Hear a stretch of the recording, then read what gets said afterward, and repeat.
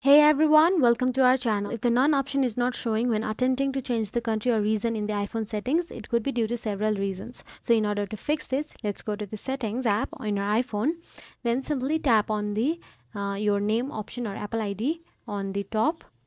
So after you tap on it, you will get to see the Apple ID menu option available.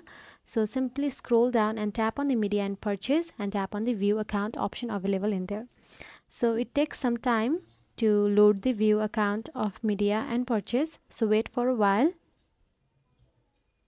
So it may even sometime ask you for your password or your face id of your iphone. So simply uh, keep your password or face id and log into it. Then there you can see the country and reason option available there. Tap on the country and reason and simply change your country and region now inside it tap on country and reason. now you'll be navigated to the another page where you will have to change the country and reason. so it takes some time to load.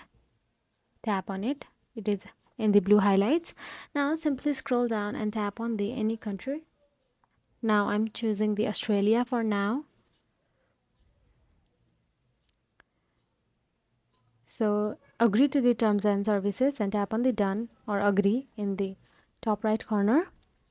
After you do it, you can see the none option available there. So by following these steps, you should be able to resolve the issue of the none option not showing when attempting to change the country or region on iOS 17.